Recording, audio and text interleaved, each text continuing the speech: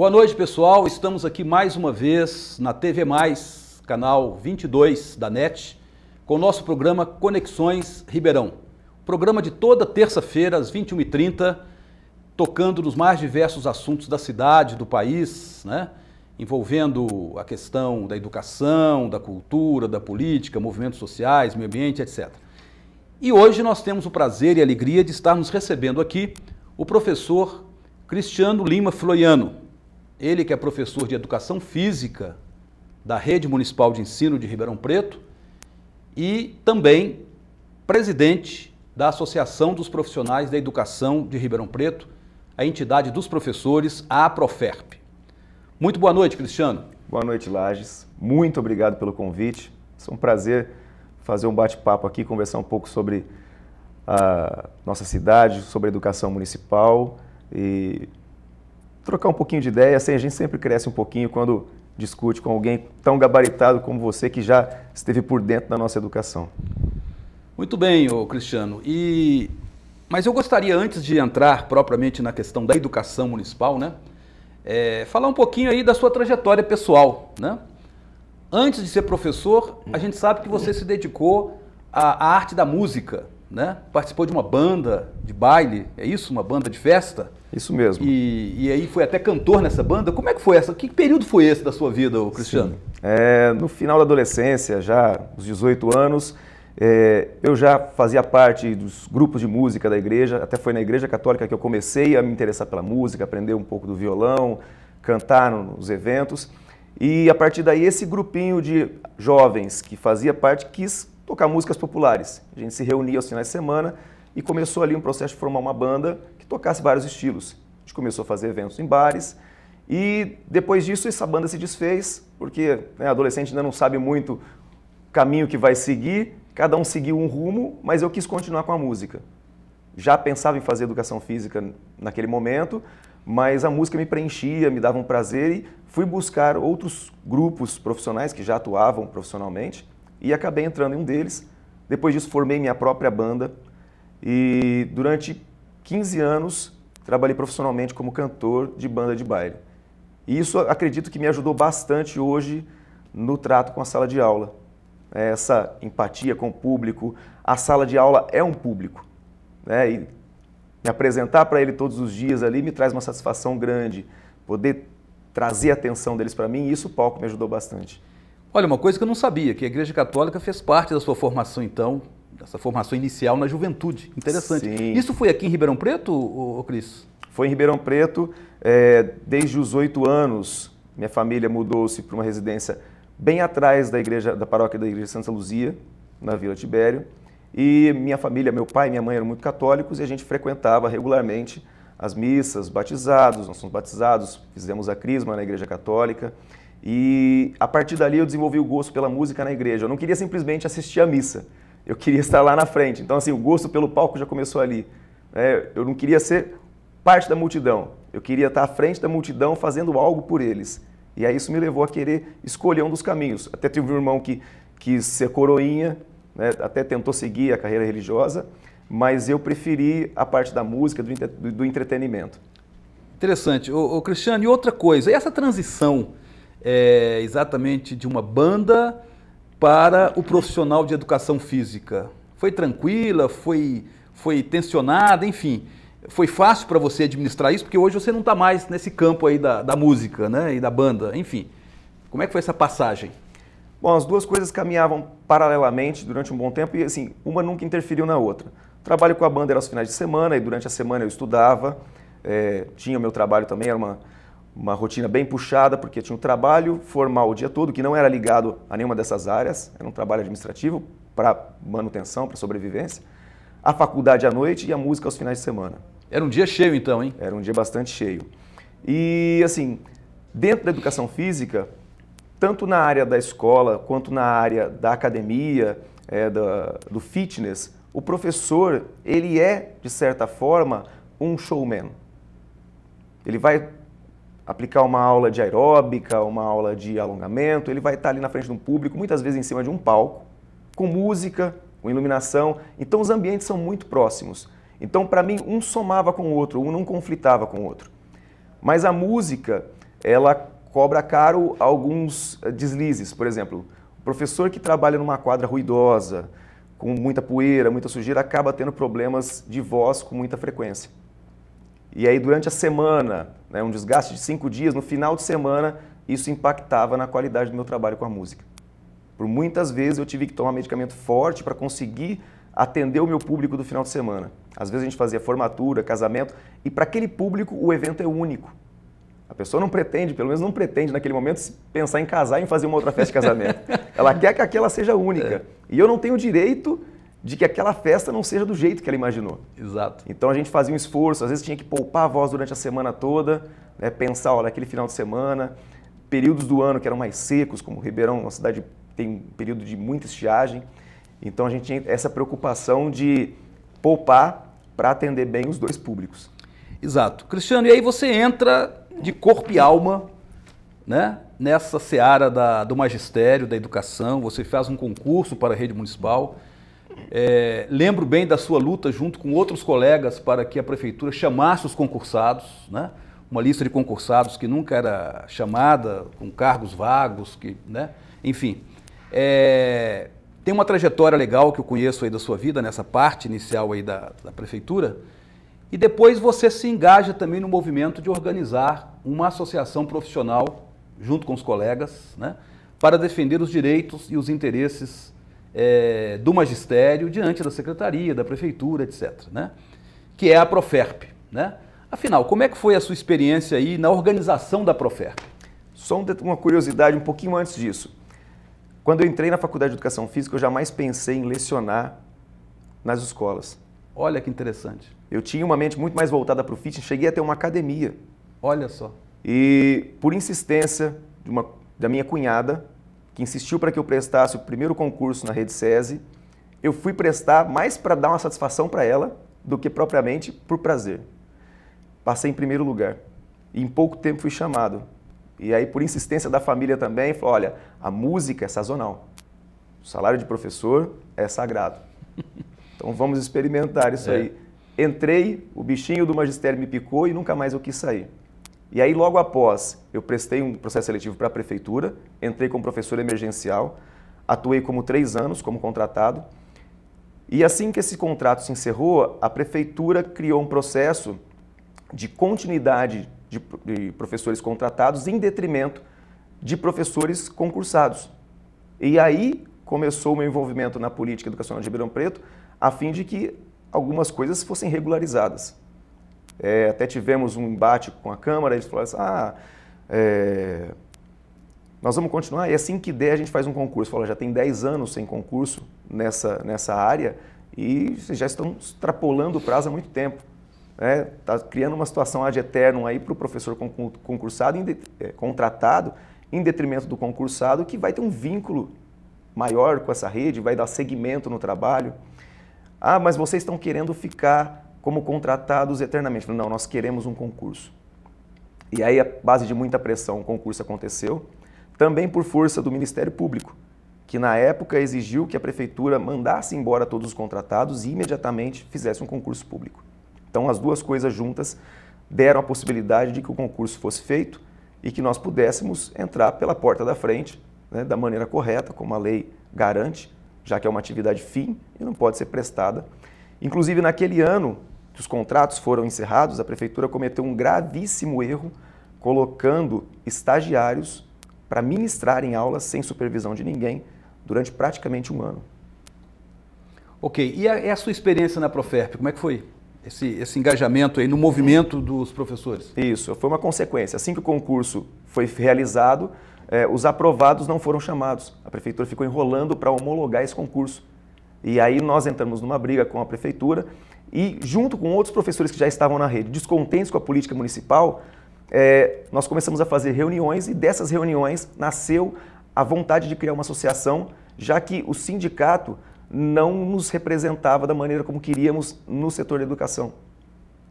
E aí sentiu-se a necessidade de criar uma associação que cuidasse dos profissionais da educação. E aí aqueles que tinham essa, esse mesmo, essa mesma linha de pensamento né, iniciaram a Proferp e que esse ano completa quatro anos no final do ano E a Proferp trouxe muitas mudanças na educação municipal. Obrigou o executivo, obrigou a Secretaria de Educação a ter que dialogar com os professores.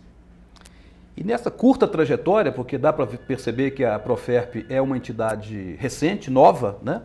já se acumulam conquistas importantes nesse período de quatro anos. Né? O que, é que você destacaria como importantes avanços é, devido à Proferp? Primeira grande conquista foi os chamamentos concursados. A prefeitura demorou muito para homologar o concurso, não queria chamar, e aí, por muita pressão, é, denúncias do Ministério, do Ministério Público sobre os estagiários, nós conseguimos o chamamento dos professores efetivos. Logo no ano seguinte, a secretaria tentou superlotar as salas de aulas para reduzir o número de professores e o número de salas. E foi com uma paralisação no dia 20 de março de 2014 que nós mostramos muita força para a secretaria, com mais de mil professores no Morro do São Bento, e a secretaria foi obrigada a recuar na política de superlotação de salas de aulas. Após isso, algumas outras políticas que tentaram ser implantadas pela secretaria, como o professor orista, né, chamado aí de professor Uber. É, que sempre volta de novo essa questão, né? Que sempre volta. É o vai que cola, né? Eu lanço lá um projeto sem, muitas vezes sem assinatura, para ver a reação recuo um pouquinho, volto... Balão de ensaio. Exatamente. Volto com ele um pouquinho modificado, dou um outro nomezinho, mas graças à pressão e à força da associação, esse projeto tem sido mantido longe, até agora, do Legislativo Municipal. Exatamente. E teve a questão dos estagiários, me parece também, que teve uma luta grande para regularizar esse trabalho dos estagiários, que estavam, aliás, substituindo professores, o que não, é, não deveria ser assim, né? Sim, como a prefeitura não queria homologar e precisava de gente para ministrar essas aulas, não haviam professores, ela colocou estagiários para ministrar as aulas. É, nós não somos contra estagiários, que isso fique bem claro. É extremamente importante que o estagiário atue na escola pública, mas como estagiário, junto de um profissional formado, que vá dar a ele o processo de observação, de participação e até de regência da turma, mas acompanhado pelo profissional da turma, que segue um referencial, e não como simplesmente o professor titular da turma. Exato. Vamos dar um intervalinho? Daqui a pouco a gente volta, o Cristiano, para falar sobre um projeto que está em discussão e que está realmente mobilizando muito professores, toda a comunidade escolar, que é o projeto de eleição do gestor escolar. Daqui a pouquinho.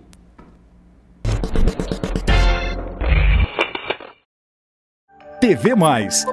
Paixão por Ribeirão. Você já pensou em veicular seu nome ou sua empresa na mídia e ganhar destaque? Você gostaria de ser visto como um especialista em alguma área, tanto em Ribeirão Preto quanto em outras cidades da nossa região? Pois com a Davi Florim Comunicação Planejada, tudo isso pode ser possível? Conte com quem tem mais de 10 anos de experiência em comunicação e jornalismo e sabe como transformar o seu interesse em uma bela reportagem, além de divulgar e proteger a sua marca. Seja visto, atraia clientes, a Davi Florim Comunicação Planejada tem contatos com centenas de comunicadores e jornalistas de várias cidades e pode beneficiar você ou a sua empresa, proporcionando-lhe reconhecimento e respeito. Oferecemos assessoria de imprensa, treinamento para entrevistas, produção de jornais e revistas, assessoria jurídica e marketing digital diferenciado, com a criação de programas do cliente e sua disponibilização nas redes sociais. Conte com a gente, seja referência em seu segmento.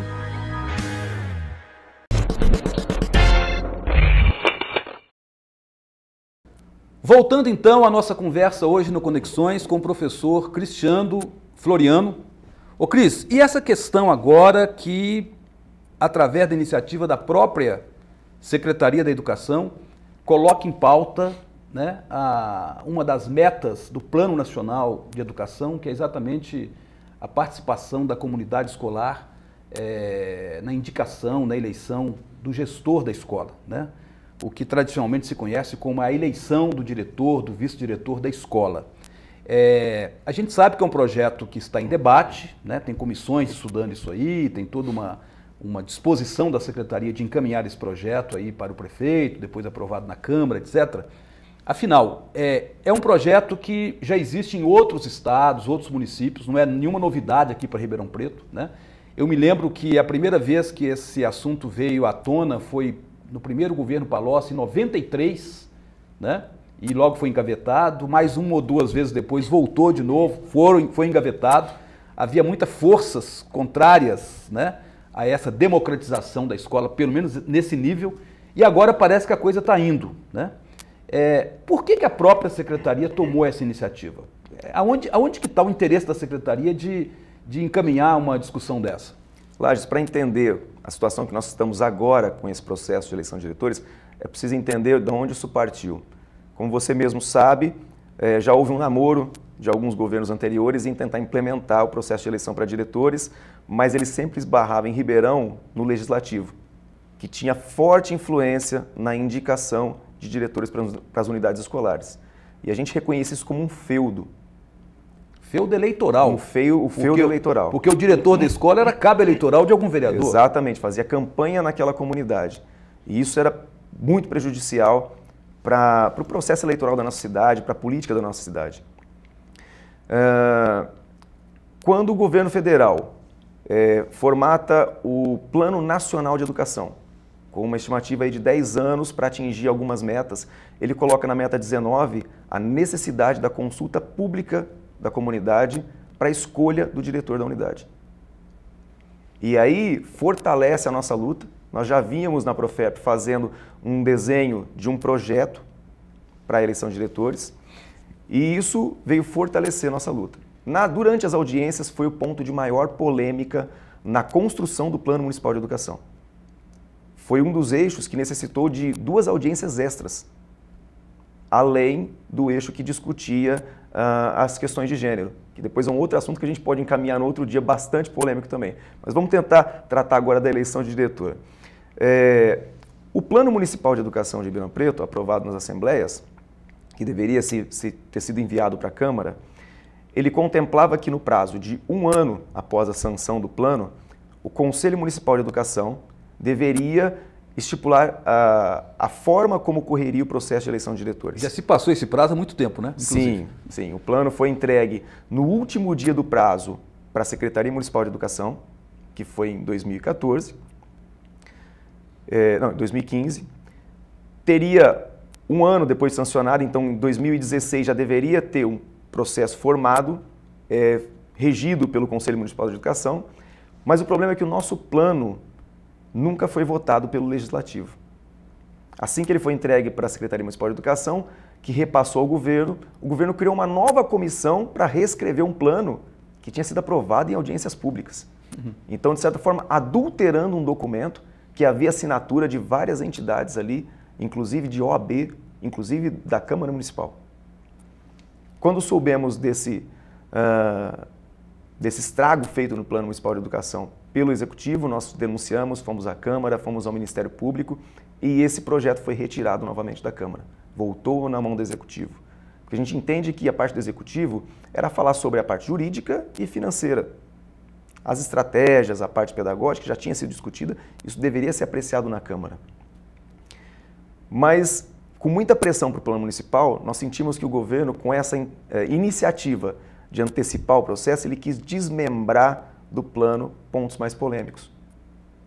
Então, com isso, ele tomou a iniciativa de fazer o processo da maneira dele, porque caso o plano municipal fosse aprovado, quem é, direcionaria a estruturação do projeto seria o Conselho Municipal de Educação. E não, próprio, não a própria Secretaria e de Educação. não a própria Secretaria. E hoje nós temos uma composição no Conselho Municipal de Educação que favorece muito mais a sociedade civil do que o governo municipal. Então, talvez esse medo tenha feito que o governo antecipasse esse processo. Ô, ô Cris, e quais são os principais pontos assim, né, que geram alguma polêmica dentro desse projeto da eleição do diretor de escola? Bom, quando a secretaria montou uma comissão com várias entidades ali para participar da elaboração do projeto, é, o texto não foi construído reunião a reunião. A secretaria vinha com uma parte do texto pronto e esse texto feito pela secretaria era discutido ali dentro. Então, com muitas coisas que uh, os representantes professores não concordavam. E um deles foi uh, que todos os candidatos deveriam passar por uma prova é, para que pudessem ser é, elegíveis pela comunidade. A princípio, essa prova é, teve uma discussão se ela seria eliminatória ou classificatória. Se ela fosse classificatória, a gente entende que seria muito ruim, porque ela ranquearia esses candidatos e indiretamente ela induziria a votar no que teve uma pontuação maior na prova. Exato. E a gente sabe que muitas vezes uma prova nunca vai medir o envolvimento daquele diretor com a comunidade. Como já acontece no sistema estadual de ensino. Seriam critérios Na muito, rede estadual. É, critérios muito técnicos, né, que não conseguem mensurar algumas coisas extremamente importantes para um gestor de uma unidade escolar, que ali, no meu entendimento, para a comunidade é uma minicidade, é como se fosse o prefeito daquela comunidade, daqueles alunos. né? A gente criaria um processo de amadurecimento eleitoral para o jovem ali desde os seus 10, 11 anos, preparando ele nos 16, onde ele já vota para presidente da República. Além da questão da, da prova, né, ou, ou dessa avaliação, que me parece, né, do meu ponto de vista, necessário no sentido é, de avaliar realmente a capacidade técnica para um trabalho de gestão, que é diferente do trabalho de docência. Né? Mas além dessa questão, a participação é, dos segmentos da comunidade escolar. É outro, é outro ponto polêmico isso aí? Sim, outro ponto polêmico. A avaliação, é, a comissão conseguiu que ela não fosse classificatória, que ela fosse eliminatória e que aquele candidato que atingisse o mínimo de 50% estaria apto. Ainda existe muita polêmica porque os professores entendem que eles já passaram por um processo de concurso público, Exato, é. que já estão capacitados, que nesse processo de concurso público as questões de administração e pedagógicas também estão inseridas, é, mas existe é, professores que defendem sim a avaliação. Junto com isso, a secretaria colocou no texto a exigência de um plano de gestão.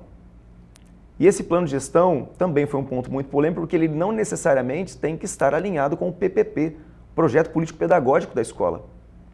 E também não é, leva esse candidato a ser submetido a uma avaliação do Conselho de Escola, que no nosso entendimento é o órgão mais forte dentro da escola e mais representativo.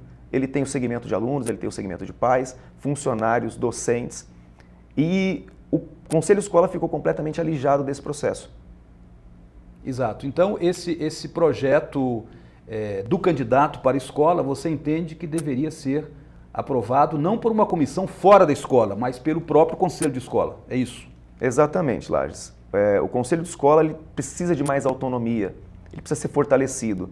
Então, assim, poderia caber a cada unidade escolar é, acompanhar, formular o processo de eleição e discutir com os candidatos, tem forma de debate, é, as intenções dele, é, qual a intenção daquele é, plano de gestão que ele, tá, que ele está apresentando, se o plano de gestão dele está de encontro com a necessidade da comunidade escolar, está de encontro com o projeto político-pedagógico construído pela unidade, porque ele é exclusivo.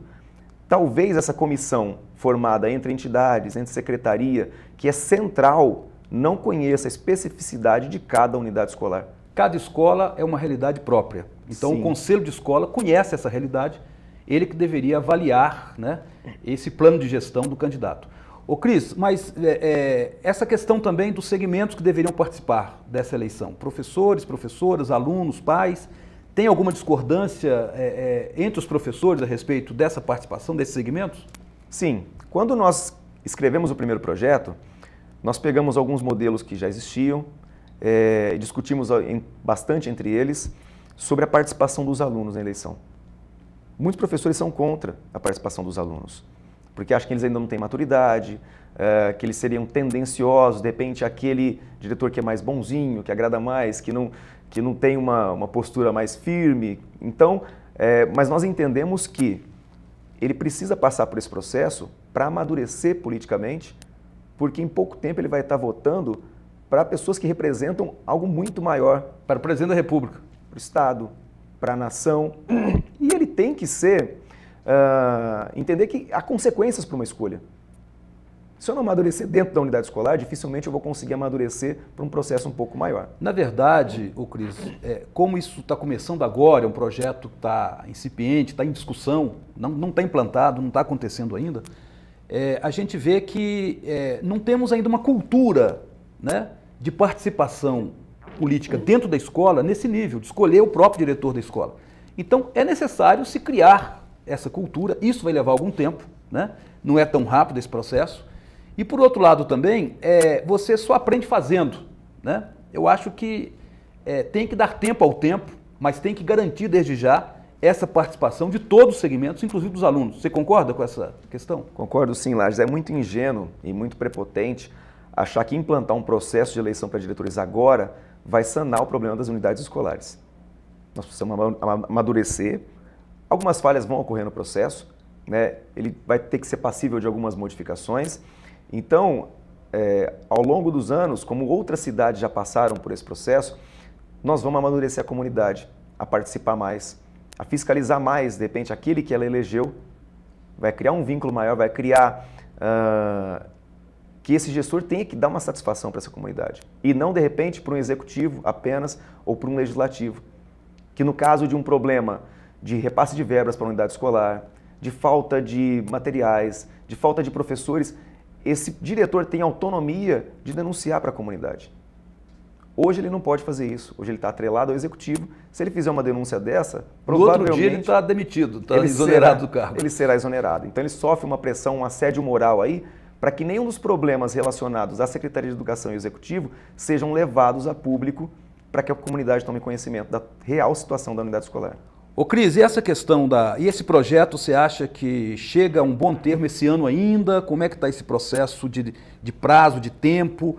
Teremos já a eleição do diretor esse ano, ano que vem? Pelo andar da carruagem, o que, que você está sentindo? Nosso representante na comissão é o professor Leonardo Freitas Sacramento. Então, ele tem trazido que há uma disposição da secretaria em acelerar esse processo e finalizar ainda esse ano. É, tem representante da Câmara nessa comissão, então, o representante da Câmara se comprometeu também a colocar na CCJ o mais rápido possível assim que o projeto for finalizado. E a ideia deles parece que é votar ainda este ano. E também já um acordo até com o Executivo para que o prefeito acelere o processo. Então, parece que a Secretaria pretende finalizar esse ano, mas talvez não seja possível, não haja tempo hábil de fazer a primeira eleição ainda esse ano. Muito bem. Cristiano, foi uma conversa muito esclarecedora, né? como outras, inclusive, que estão acontecendo aqui no Conexões Ribeirão.